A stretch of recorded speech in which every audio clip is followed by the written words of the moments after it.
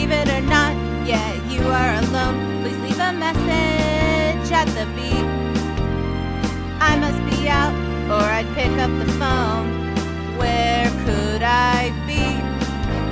Believe it or not, you're alone.